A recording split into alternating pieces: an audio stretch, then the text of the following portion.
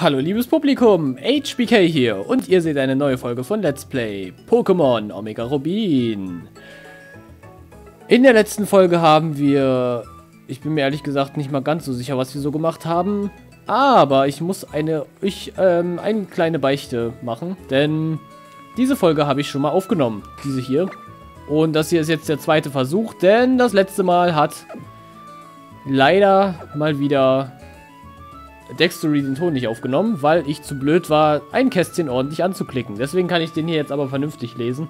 Den letzten Mal habe ich mich so sehr verhaspelt, das ist schrecklich gewesen. Ich heiße Trendweg, weil ich volle Pulle trendy bin. Soll ich dir ein paar angesagte Szenesprüche beibringen? Ja. Affenstark! Meine abgefahrenen Sprüche gehen eben ab wie Fußpilz. Bei Teenies wie dir bin ich voll angesagt. Was, du findest meine Sprüche total uncool? Uncool? Im Sinne von heiß? Klaro Fand! Du findest meine Sprüche also total heiß. Was? Du verstehst nur Bahnhof? Dann frag deine Eltern, die können dir meine obercoolen Sprüche bestimmt erklären. Aber danke, dass du trotzdem zugehört hast. Als kleines Geschankedön bekommst du von mir diese Waschma... Äh, ich meine natürlich O-Kraft. Let's Fetz und herzlichen Glühstrumpf. HBK erhält Zuneigungskraft Level 1. Nächstes Mal bringe ich dir noch mehr Szenesprüche bei, die so abgefahren... Die sind so abgefahren, da schlackerst du mit den Füßen.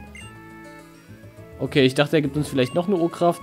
Dieser komische Kauz da drüben redet vielleicht abgedrehtes Zeug. Auf seltsame Weise ist er aber auch irgendwie witzig. Leute wie den vergisst man so schnell nicht. Oh ja. Das kann ich dir wohl... Da hast du wohl recht. So, ach nee. Wir haben ja jetzt äh, das letzte Mal Pokémon bewegen ganz nach oben gesetzt.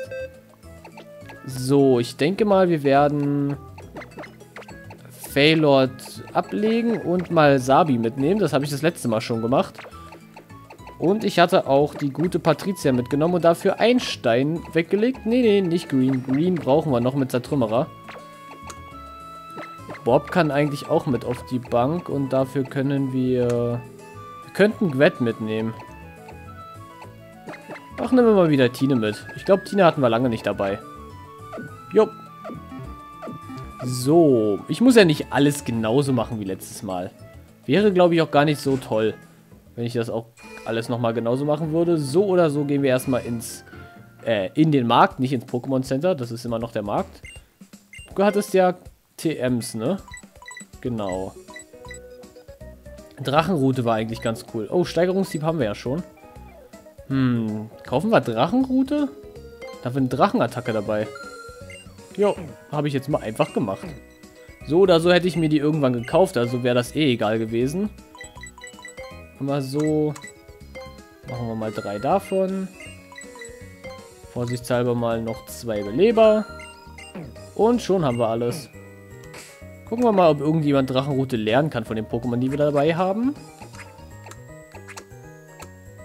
Nein! Hier, Drachenroute. Nö, kann keiner lernen. Aber wir haben es schon mal. Das ist immerhin etwas. So, dann fahren wir mal mit dem Fahrrad. Nur damit die Fahrradmusik sofort wieder aufhören kann. Denn, Leute, wir müssen ja nach oben zum Schlotberg war das, glaube ich. So, erstmal hier der Trümmerer einsetzen. Das letzte Mal kam ein Beleber bei raus. Diesmal gar nichts. Na toll. So, ihr seid Trainer, die ich schon mal bekämpft habe. Da oben ist die Wüste. Was für eine wüste Beschimpfung. Ähm, verstecktes Pokémon. Was denn das? Das würde mich jetzt aber wirklich mal interessieren. Myrapla, oder? Nee, das war kein Myrapla. Was bist du?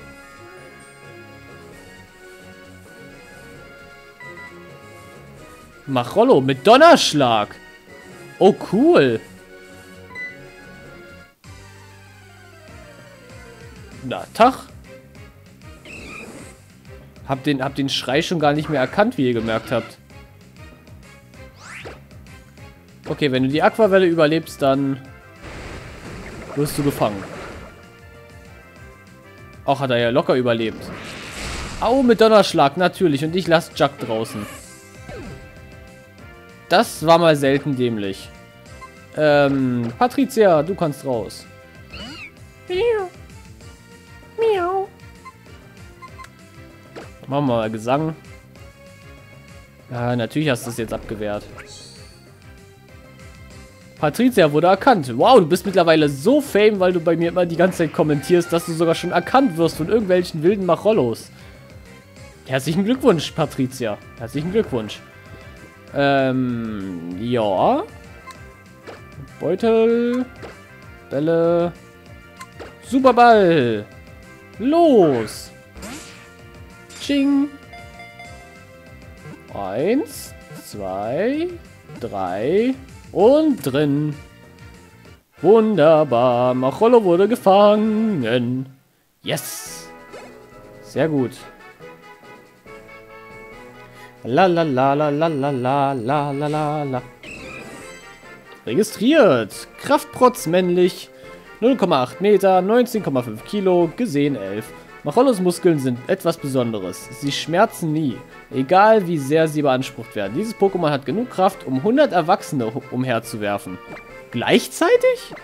Nicht schlecht, Machollo, nicht schlecht. Du bist unser Kampfkoloss. Kampfkoloss. Kampfkoloss, Kampfkoloss! Sehr gut. Jetzt haben wir auch ein Machollo mit Donnerschlag. Coole Sache. La la la na na na na na na na. Äh, erstmal haben wir hier. Ah, das ist alles zu teuer. Verdammt. Hallöchen. Einsteigen. Einsteigen kannst du auf der anderen Seite. Okay. Die Seilbahn fährt gleich hinauf. Möchtest du mit? Ja, natürlich. Bitte hier entlang. Alles klar, dann geht's gleich hoch mit der Seilbahn. Wir fahren Seilbahn. Ja, wir fahren hoch mit der Seilbahn. Es ist immer noch die Seilbahn. Äh. Da bin ich ein bisschen zu hoch mit der Stimme gegangen. Das kann ich so lange, glaube ich, nicht halten. Oder es klingt nicht so toll. Klang es wahrscheinlich sowieso nicht. Vielen Dank. Ich danke Ihnen, dass ich mitfahren durfte. Ich weiß etwas, was du nicht weißt. Die Dame am Einstieg ist ein Zwilling und die Dame am Ausstieg ist auch ein Zwilling. Und die Damen unten, sind das auch Zwillinge und dadurch sind das Quadrillinge? Fauch.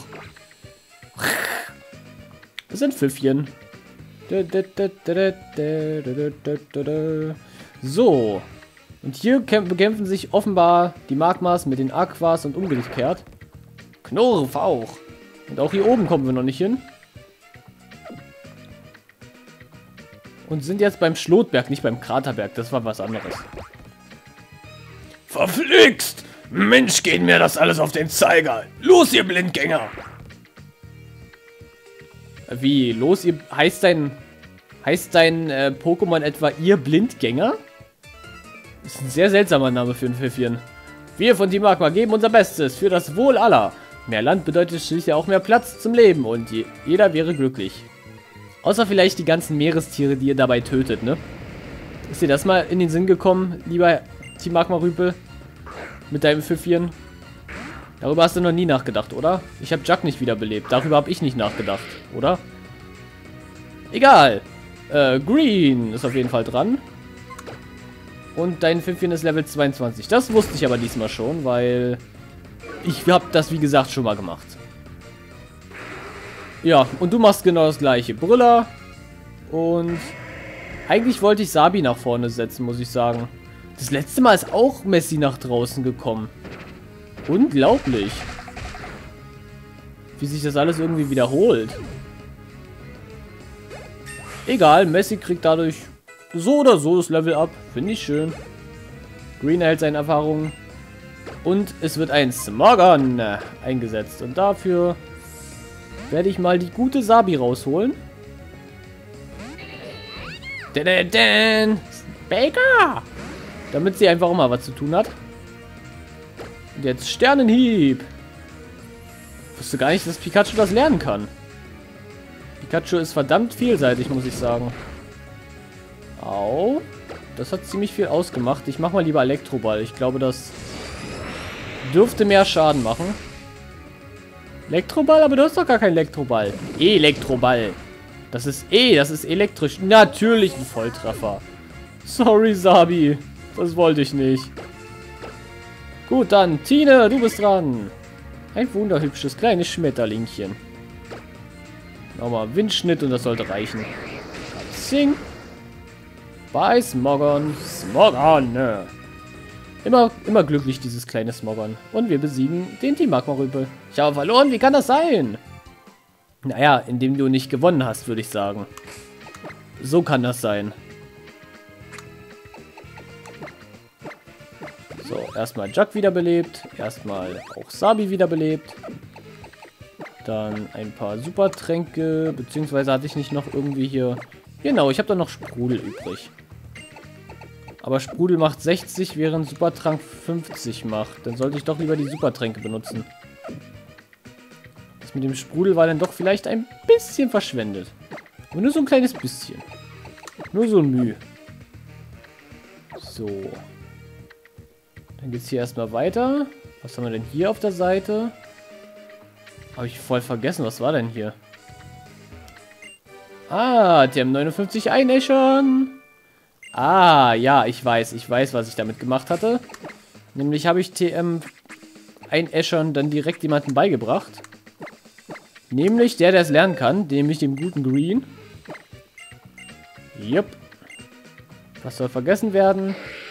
Der Gähner soll vergessen werden, weil so hat dann Green eine sehr schöne Abdeckung von verschiedenen Typen in seinem Moveset. Oh, und ich weiß noch, gleich kommt ganz viel Dialog. Ui, ich trinke mal vorher einen Schluck.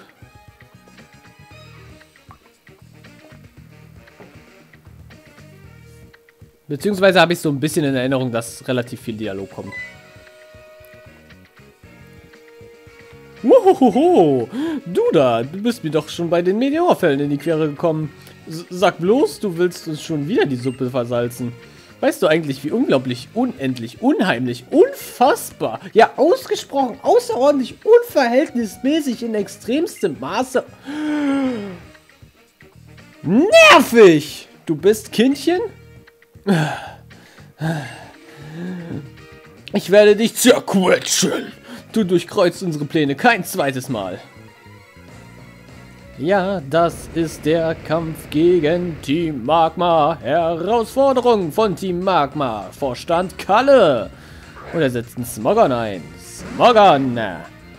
Auf Level 24, wenn mich nicht alles täuscht. Yep. So. Elektroball. Ich hätte Dönerwelle machen sollen. Erstmal paralysieren, bevor ich es angreife. Ach nein, genau den Bullshit hast du ja letztes Mal schon mit mir abgezogen. Erstmal sein Smogon opfern. Ach. Irgendwie hat sich daran nicht viel geändert. Mann, das ist doch bescheuert. Los, Tine. Und auf der anderen Seite ist ein Kamaup. Auch nicht gerade meine beste Wahl gewesen, glaube ich.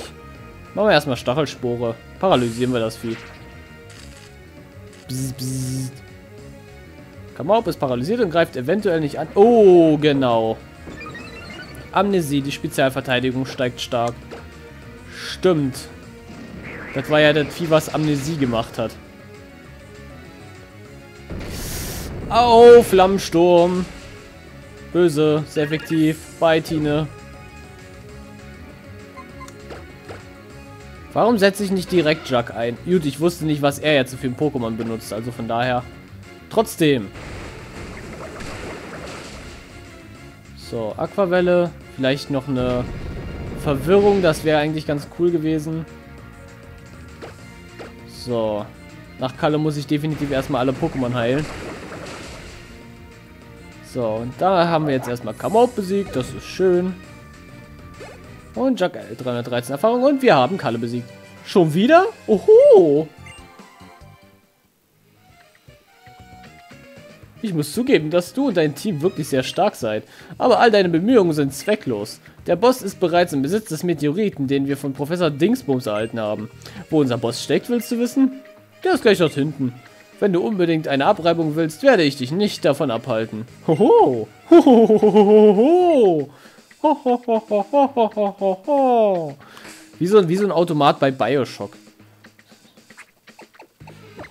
Ich habe nur noch zwei Beleber. Naja, Sabi wird halt wiederbelebt und halt Tine, ne? So. Wie ich gerade irgendwie sämtliches Heilmaterial, was ich habe, aufbrauche meine Pokémon so chronisch unterlevelt sind eigentlich, so wie sie jetzt gerade sind. Wenn man bedenkt, dass der gerade eben schon Level 24er hatte.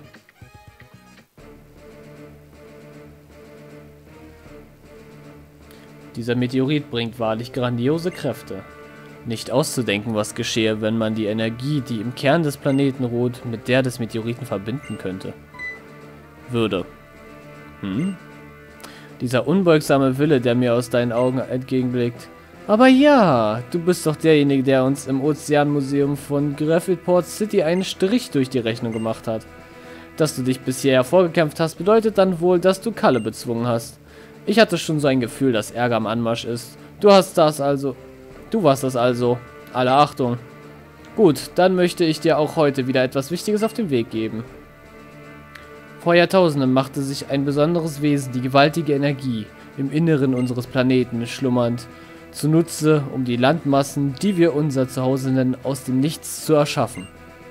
Diese Kraft, nach der wir streben und mit der es uns möglich sein wird, die Landmassen auszuweiten, wohnt einem urzeitlichen legendären Pokémon inne.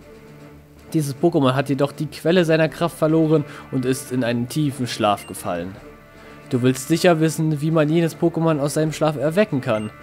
Nun, unsere Nachforschungen haben uns schließlich zum Schlotberg geführt, Genauer gesagt, zu diesem Meteoriten hier. Denn unter, der wichtigen, unter den richtigen Voraussetzungen sollte es uns möglich sein, die Eigenschaften dieses besonderen Steines derart zu verändern, dass dieser zu einem Megastein oder gar zu einem Schlüsselstein wird. Wir befinden uns hier außerdem auf dem Schlotberg. Das bedeutet, dass... Aber ich verrate dir besser nicht zu viel. Genug der Belehrung. Die Stunde der Säuberung ist angebrochen. Wie du dich sicher noch erinnern kannst, hatte ich dich im Museum von Graffelport City eindringlichst gewarnt, dass ich kein Erbarmen mit dir zeigen werde, würde, wenn du dich uns erneut in den Weg stellst. Daher werde ich dir nun ein jähes Ende bereiten. Du darfst dich geehrt fühlen. Heil Magma! Okay. Eine Herausforderung von Team Magma Boss Mark. Mark. Magma. Haha. Das habe ich schon damals mit Marco Hita gebracht, den Witz. Da ist nicht mehr lustig. Und auch nicht originell. Oh, Magnian auf Level 25 könnte ziemlich böse werden. Machen wir mal eine Dönerwelle. Aber Pikachu ist schneller als das Magnian. Das ist cool. Und Angeberei wird abgewehrt. Na, das finde ich doch mal nett. So, Sternhieb ging daneben. Angriff von Sabi steigt stark und wir sind verwirrt. Wenn du schon meinen Angriff gesteigert hast, werde ich natürlich weiterhin mit Sternhieb versuchen anzugreifen. Denn nicht nur ist Sternhieb eine physische Attacke, sie birgt auch noch die Wahrscheinlichkeit oder die Möglichkeit, dass, dass man, äh, nachdem man mit Sternhieb getroffen hat, seinen Angriff steigert. Gewissheit. Autsch, das war's mit Sabi. Aber du hast Magnaien sehr gut getroffen, auf jeden Fall. Green, du bist dran. Äh, green, Green. Zertrümmerer. Na komm schon, ich wollte gerade sagen. Nur weil der Gegner gerade hier die Paralyse-Sache hatte. Natürlich noch eine Angeberei. Ah, ich sitze auf meinem Fuß und der ist eingepennt. Ach, besser. Besser. Ich muss mich gerade mal ein bisschen umsetzen. Äh, machen wir mal nochmal einen Zertrümmerer. Jetzt mit zweifach erhöhtem Angriff sollte das ein bisschen mehr auch ausmachen. Bam. Jawoll.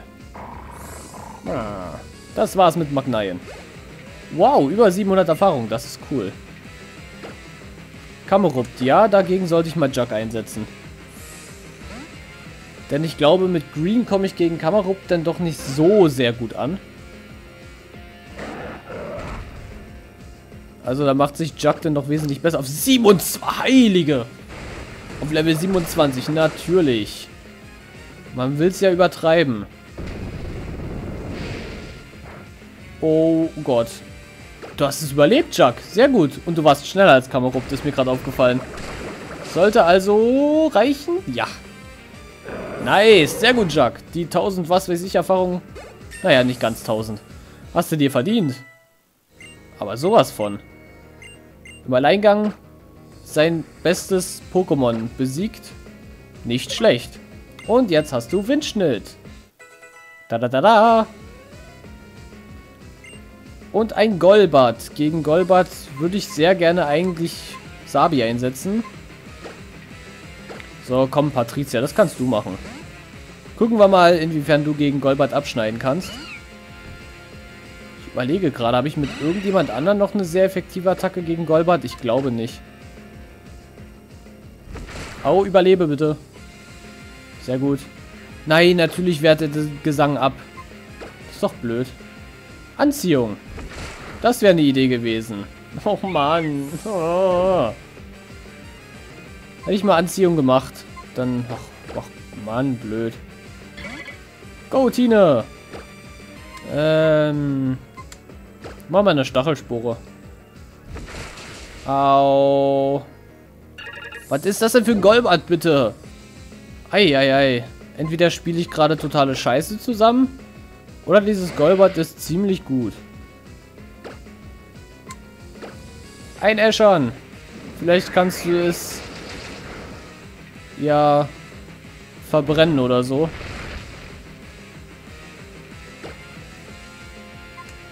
Okay, machen wir erstmal einen Tagedieb.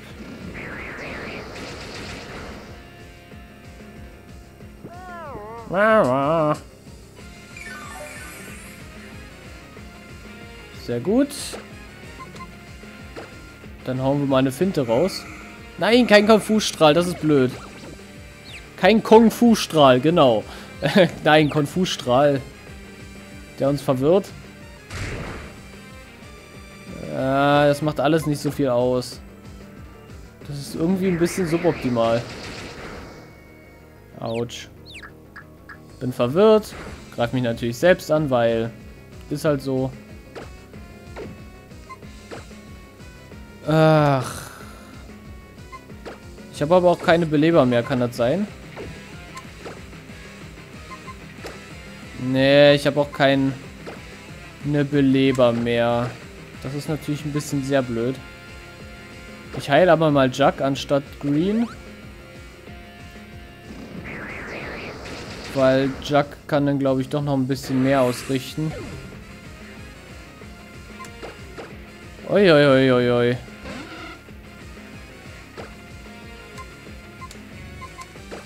Aquavelle. Nein! Hör doch mal auf damit.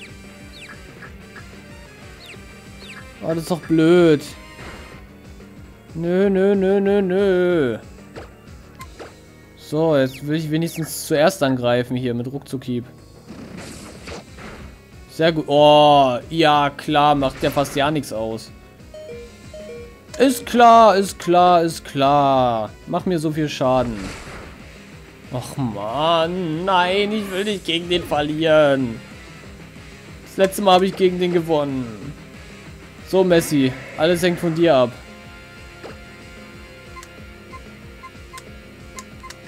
Stärke. Hey, cool, wir sind schneller. Ah. Kopfnuss, Kopfnuss konnte zurückschrecken lassen, ne?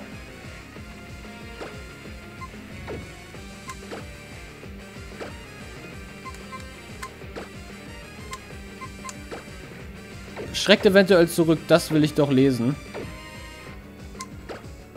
Mach mal eine Kopfnuss, hoffen wir, dass er zurückschreckt. Erstmal durch die Verwirrung. Ach, verdammt. Jetzt kommt der Flügelschlag, macht. Okay. Nicht mehr verwirrt, sehr gut. Zurückschrecken bitte. Oder direkt besiegen. Sehr gut. Messi! Es tut mir leid, dass ich dich erst nur wegen Mitnahme und auf der Box liegen lassen haben wollte und so. Uh, nicht schlecht. Ich bin... Du bist nicht ein Millimeter zurückgewichen. Ja, du dafür beinahe umgekippt, Kumpel. Ach Gott, was ein Krampf. Oh, du hast es also geschafft, mich, den großen Markt, zurückzuschlagen? Haha, du amüsierst mich. So sei es. Dann wird es wohl Zeit, dass meine Pokémon und ich die wahre Macht der Mega-Entwicklung entfesseln. Auf das der letzte fahle Hoffnungsschimmer jammervoll vor deinen Augen verglimmt. Hm? Ja, ich bin es. Oh, am Pyroberg? Verstanden, ich bin schon unterwegs. Ich bitte um Verzeihung, doch mir ist kurzfristig etwas dazwischen gekommen. Also dann, ich empfehle mich. Auch den Meteoriten kannst du übrigens gerne haben. Verfahre damit, wie es dir beliebt. Und er gibt ihn mir sogar direkt in die Hand. HPK erhält Meteorit. Aber ich werde dir dein, mir dein Gesicht gut einprägen. Ja, ich werde dir dein Gesicht einprägen. Ich werde es so machen, dass du dir dein Gesicht merken kannst. Den gleichen Fehler habe ich das in der letzten Aufnahme auch schon gemacht. Ach, Mann. Immerhin hast du es geschafft, dich mir in den Weg zu stellen. Hm.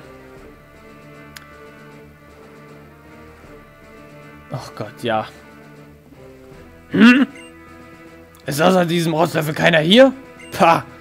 Dann hat sich dieser elende Feigling Mark also schon aus dem Staub gemacht. Wenn ihm der Meteorit, auf den er so heiß war, plötzlich voll Schnuppe ist, heißt das dann, dass Sag bloß, er hat den echten Edelstein in den Finger gekriegt. Dieser Kerl treibt mich noch in den Wahnsinn. Immer muss er mir einen Schritt voraus sein. Schön für dich. Und was hat das jetzt mit mir zu tun? Warum musstest du jetzt zu mir gehen, um... Egal. So oder so. Äh, würde ich an der Stelle dann sagen, wäre es das mit dieser doch etwas längeren Folge von Let's Play Pokémon Omega Rubin. Vielen Dank fürs Zusehen. Ich bin HBK und sage an der Stelle Tschüss. Bis dann. Und hoffentlich hat der Sound diesmal aufgenommen.